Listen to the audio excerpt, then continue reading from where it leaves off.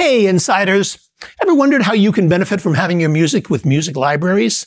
Well, if you have, then you don't want to miss this episode with Ron Mendelsohn, President and CEO of leading independent music library Megatrax.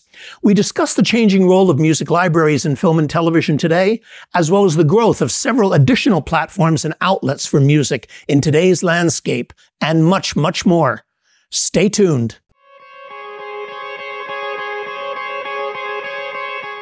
This episode of the Mubu TV Insider video series is brought to you by the Music Business Registry. The Music Business Registry is the leading music industry publisher of the most up-to-date contact information for major and independent record label A&R, music publishers, artist managers, music attorneys, music supervisors, and much, much more. The Music Business Registry is the trusted industry standard and source serving the music business community for over 30 years with the most accurate and up-to-date contact information available. Their titles include the A&R Registry, the Film and Television Music Guide, the Music Publisher Registry, and the Music Attorney Registry. All of their publications are available in PDF, CSV, or online subscription. Visit musicregistry.com and use coupon code MUBUTV10 at checkout. That's musicregistry.com coupon code MUBUTV10. When you're ready to put your music to work, musicregistry.com.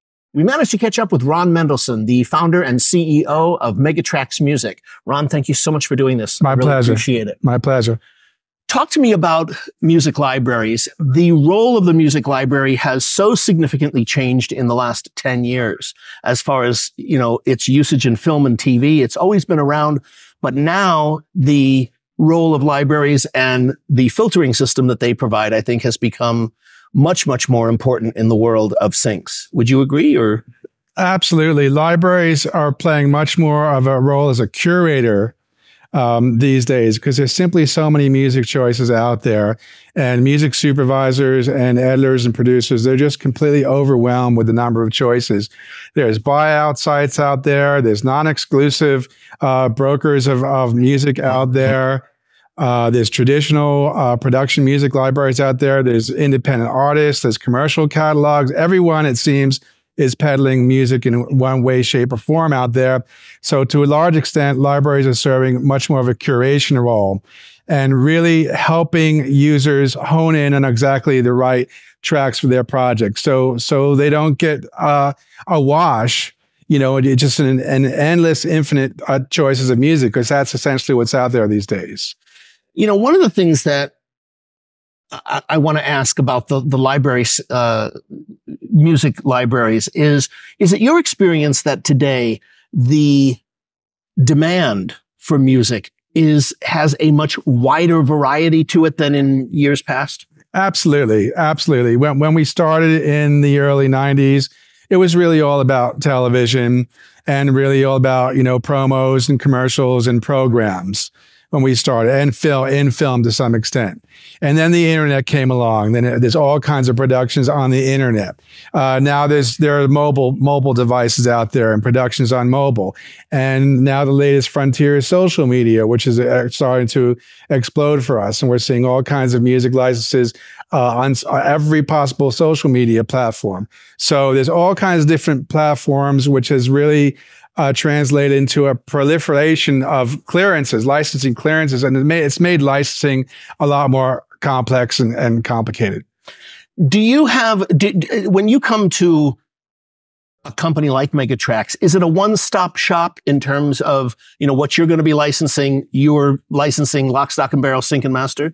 Absolutely. That that's always been the benefit of working with production music libraries. We own all the sync and master rights to all of our music. Absolutely. Okay. Owner control, I right. should say. Okay, which makes the clearance like not an issue if if you're the one that they have to come to to do it. It's just one person. It's done. They don't have to go to a publisher. They're a, a label of you know, like with songs out in the precisely, place. and that's that's always been the historic benefit of working with production music libraries.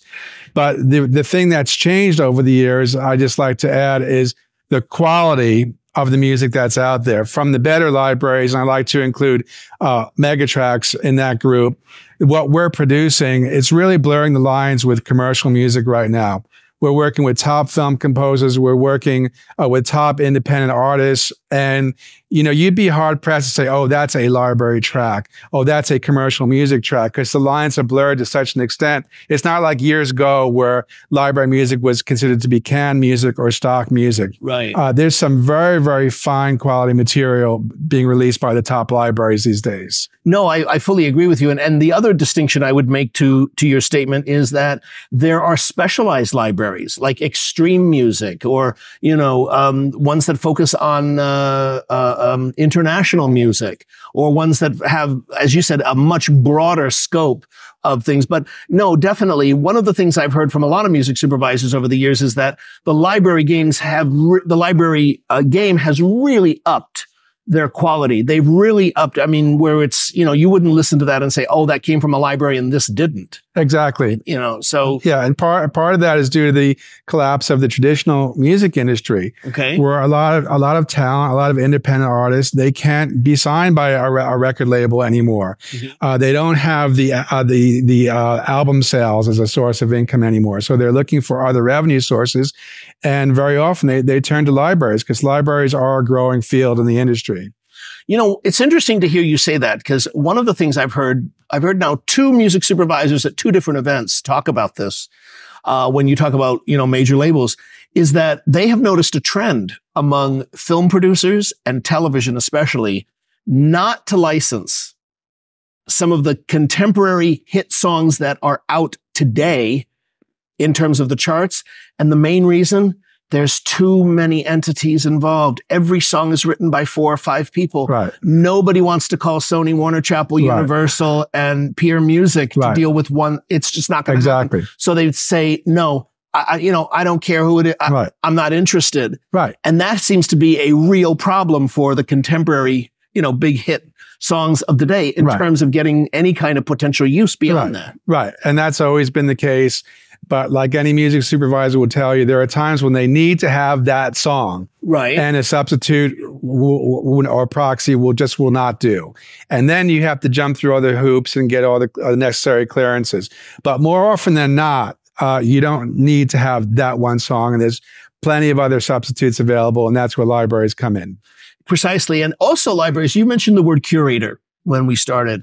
The other thing that I think is fascinating about libraries is that not only are they a curator, but many music supervisors will tell you and have mentioned in the past that if people want to get their music heard, rather than just inundating them with thousands of song submissions, they said, you know, you should go to your, your, get your music to a library, a reputable library that we do business with Right. that we know, we will be much more likely to listen to something from Megatrax or something from someone else rather than, you know, also it's a time issue. I can't go home at night and say, I'm going to give you three hours of just listening to some solicitations, solicitations on my computer. Of course, it comes down to music supervisors only have time to deal with trusted source. And trusted source, by definition, is a company that's come through for them in the past and not made them wade through uh, uh, inappropriate content and has curated for them content that's been useful for them in the past.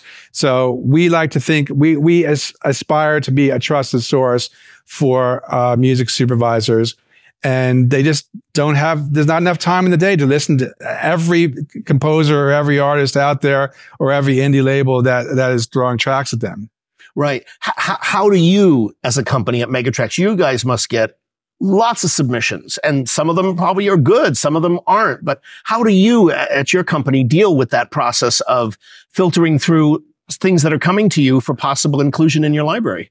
um, well i think our company would probably grind to a complete standstill if if we had to uh, seriously evaluate every single composer submission and we'd, we'd have to have like an entire building full of people evaluating content so what's worked for us in terms of efficiency over the years is we we have honed a core stable of composers, a core roster of composers that consistently deliver top-notch work time and time again. And we know who they are. We know who to call if we need an urban track. We know who to call if we need a dance pop track.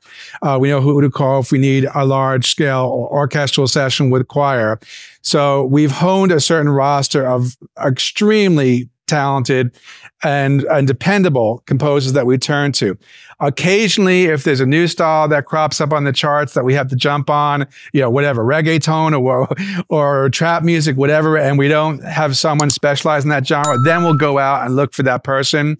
And, and don't get me wrong, we're always on the lookout for new talent. And I personally, on a daily basis, listen to pretty much everything that's submitted in the car or on my phone or whatever. Right. So we're always on the lookout for new talent. And occasionally we do sign new writers, but I'd say 90% of what we do is covered by our core roster, our core team, which is, they're an extraordinary talented group of people. Ron, what are the major issues facing the library world today? I, I just say, um, just to cue off the, the one of the panels this morning, it's it's value and it's maintaining value and it's educating people that music has value. And I think over the last, since the dawn of the internet, uh, the younger generation in particular has just been conditioned to believe that music is free and music doesn't have value. And why should they pay for it? And if they have to pay for it, well, then, well, it's, it's a few hundred bucks. And why should it be any more than that? So I think that's the biggest challenge, maintaining value. And the reason it's such a challenge is because there's so many upstart companies out there that just throw up a website without thinking, just thinking they're going to make a quick buck. And they just position themselves as brokering content and brokering content non exclusively or putting up a buyout library. And there's composers out there who don't know the value of their music and they willingly give away music to companies and companies will hire them for 50 bucks a track or in Europe, you know, uh, uh, 25 euros a track or whatever. And they just don't know the value of their music because they're so desperate to get into the business. And these are the companies that are really uh, undermining it for, for, for the rest, for the rest of us.